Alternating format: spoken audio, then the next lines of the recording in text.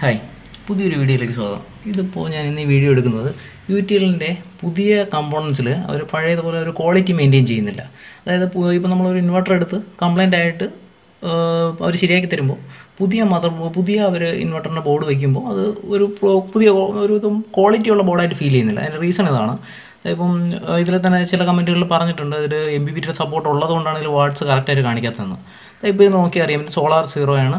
അതായത് സോളാറിൽ നിന്നും എടുക്കുന്നില്ല. ഔട്ട്പുട്ട് ബാറ്ററിയിൽ നിന്ന് പതിനഞ്ച് ആമ്പിയർ എടുക്കുന്നുണ്ട്. പതിനഞ്ച് അമ്പത്തൊന്ന് വോൾട്ടിൽ പതിനഞ്ച് ആമ്പിയർ. ഓക്കെ. ഇതിലിപ്പം ഔട്ട്പുട്ട് വാട്ട്സ് നോക്കിക്കഴിഞ്ഞാൽ ഒറ്റ സെക്കൻഡ്. ആ ഔട്ട്പുട്ട് വാട്ട്സ് നോക്കിക്കഴിഞ്ഞാൽ മുന്നൂറ് വാട്ട്സ്. ഏകദേശം അറുന്നൂറ് വാട്ട്സിന് മുകളിൽ ഇപ്പോൾ എടുക്കുന്നുണ്ട്. പക്ഷേ ഇത് കാണിക്കുന്നത് ഇരുന്നൂറ്റി തൊണ്ണൂറ് വാട്ട്സേ എടുക്കുന്നുള്ളൂ അതായത് ഇതിന്റെ ആക്യുറസി വളരെ മോശമാണത്. ഇത് ഇതിന്റെ പുതിയ ബോർഡ് വന്ന ശേഷമുള്ള പ്രോബ്ലമാണ്. ഈ ഇൻവെർട്ടർ ആദ്യം വാങ്ങിക്കുമ്പോൾ ഈ ഒരു പ്രോബ്ലം ഇല്ലായിരുന്നു. ഇതിന്റെ കംപ്ലയിന്റ് വന്ന ശേഷം ഇവർ ബോർഡ് മാറ്റി തന്നപ്പം പറ്റിയ പ്രോബ്ലമാണ്. ഇതിന്റെ ഈ ഒരു പ്രോബ്ലം റിപ്പോർട്ട് ചെയ്തു. രണ്ടാമത് ഒരു വേറൊരു ബോർഡ് മാറ്റിയിട്ടുണ്ട്. ആ ആ പുതിയ ബോർഡാണ് ഇതിലിരിക്കുന്നത്. അതിലും ഇതേ പ്രശ്നമുണ്ട്. അതിനാണ് ഇപ്പോൾ ഈ നിങ്ങൾ കാണുന്നത്.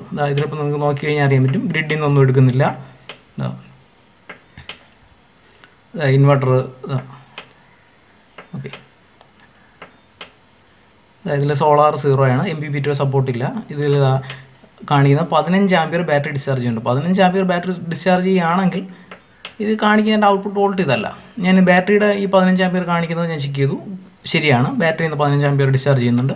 പക്ഷേ ഇതിന്റെ ഔട്ട്പുട്ട് വാട്ട്സ് കാണിക്കുന്നത് തെറ്റാണ്.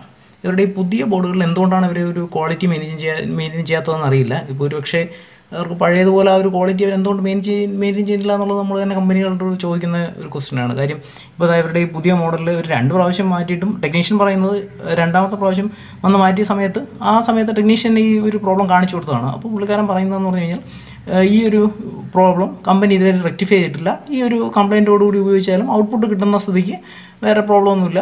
അത് ഉപയോഗിക്കാനാണ് ടെക്നീഷ്യൻ പറയുന്നത്. എന്താ നിങ്ങൾക്ക് തന്നെ നോക്കിയറിയാം? അതിന്റെ പേരിൽ രണ്ടാം പിന്നെ ഈ രണ്ടാമതും ബോർഡ് മാറ്റിയിട്ട് ശരിയാവാത്തത് കൊണ്ടാണ് ഞാൻ എന്റെ വെറുതെ ഇതിന്റെ പുറകെ വീണ്ടും പോകാതിരുന്നത്. ഇതിലിപ്പോൾ ഒന്ന് ഇടയ്ക്കൊരു ഞാനൊരു കമന്റ് ഇങ്ങനെ കണ്ടിരുന്നു. ഇതിന്റെ യു ടി എല്ലിന്റെ എം ബി ബി ടിയുടെ സപ്പോർട്ട് ഉള്ളത് കൊണ്ടാണ് ഇതിൽ വാട്സ് കറക്റ്റ് കാണിക്കാത്തതെന്ന് അതായത് ഇതിന്റെ ആക്ച്വലി കാലിബ്രേഷൻ ഇഷ്യൂ ആണ്. ഇവരുടെ പുതിയ ബോർഡിൽ ഇവർ വേണ്ടത്ര ക്വാളിറ്റി മെയിന്റെയിൻ ചെയ്യുന്നില്ല. പുതിയ ഇതിൽ ഇതിൽ സ്ക്രീനിലാണ് ഇവർ സെറ്റിംഗ്സ് അഡ്ജസ്റ്റ് ചെയ്യുന്നത്. പഴയ മോഡലാണെങ്കിൽ നമുക്ക് കാലിബ്രേഷൻ ഈസിയായിട്ട് അഡ്ജസ്റ്റ് ചെയ്യാൻ പറ്റും. പുതിയതിലും ഈസിയായിട്ട് അഡ്ജസ്റ്റ് ചെയ്യാൻ കൊടുത്തിട്ടുണ്ട്. പക്ഷേ അത് അഡ്ജസ്റ്റ് ആവില്ല. അതായത് നിങ്ങൾക്ക് നോക്കിയാൽ അറിയാം. എന്തെങ്കിലും കൂടുതൽ കമന്റ് ഉണ്ടെങ്കിൽ എന്തെങ്കിലും കൂടുതൽ ഡൗട്ട് ഉണ്ടെങ്കിൽ ജസ്റ്റ് ഒന്ന് കമന്റ് ചെയ്താൽ മതി. ഞാൻ അതിന്റെ ബാക്കി ഡീറ്റെയിൽസ് അപ്ഡേറ്റ് ചെയ്യാം. അപ്പോൾ ഇവരുടെ പുതിയ ഇൻവെർട്ടറുകൾ എടുക്കുമ്പോൾ നിങ്ങളൊന്ന് ശ്രദ്ധിക്കുന്നത് നല്ലതാണ്. കാര്യം ഇതേപോലെ നമ്മൾ ഒരു കംപ്ലയിന്റ് ആയി കഴിഞ്ഞ ശേഷം പിന്നെ കിട്ടുമ്പോൾ നമ്മൾ എന്തെങ്കിലും കമ്പോണൻസിൽ കോംപ്രമൈസ് ചെയ്യേണ്ടി വരിക എന്ന് പറയുന്നത് ശരിയല്ല. കാര്യം ഇവരുടെ യു എസ് ബി വഴി ഔട്ട്പുട്ടൊക്കെ എടുക്കാൻ പറ്റും. ഇങ്ങനെയുള്ള കുറച്ച് ഫീച്ചേഴ്സ് നോക്കിയാണ് ഞാൻ ഇൻവെർട്ടർ വാങ്ങിയത്. അപ്പോൾ ഇതിന്റെ ഔട്ട്പുട്ട് എത്രയാണെന്നത് കൃത്യമായിട്ട് കാണിക്കുന്നില്ലെങ്കിൽ പിന്നെ അതൊരു ഉപയോഗമില്ലല്ലോ.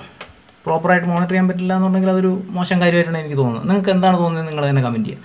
നിങ്ങളുടെ കയ്യിൽ ഇതേപോലത്തെ ഇൻവെർട്ടർ ഉണ്ടെങ്കിൽ അതിന്റെ സ്റ്റാറ്റസും ഒന്ന് അപ്ഡേറ്റ് ചെയ്ത് കഴിഞ്ഞാൽ നമുക്ക് മറ്റുള്ളവർക്ക് ഉപയോഗപ്പെടും. പിന്നെ ഇതിൽ സെറ്റിങ്സിൽ പോയിട്ട് നമുക്ക് കുറച്ച് കാലിബ്രേഷൻ അഡ്ജസ്റ്റ്മെന്റ് ചെയ്യാൻ പറ്റും. അതായത് നമുക്കിവിടെ സെറ്റിങ്സിൽ കാലിബ്രേഷൻ വിൻഡോയിൽ പോകാൻ പറ്റും. കാലിബ്രേഷൻ വിൻഡോ പോയി അഡ്ജസ്റ്റ് ചെയ്യാൻ പറ്റും. പക്ഷേ ഔട്ട്പുട്ട് മാത്രം നമ്മൾ എത്ര അഡ്ജസ്റ്റ് ചെയ്താലും കറക്റ്റ് ആവില്ല. അത് ഈ അവരുടെ ഈ പുതിയ ബോർഡിലെ കുഴപ്പമാണ്. പിന്നെ ഡി സി സൈഡ് പ്രോബ്ലം ഉള്ളത് നമുക്ക് അഡ്ജസ്റ്റ് ചെയ്യാൻ പറ്റും. ഡി സി സൈഡും ബാറ്ററി വോൾട്ട് കറക്റ്റ് അല്ലായിരുന്നു.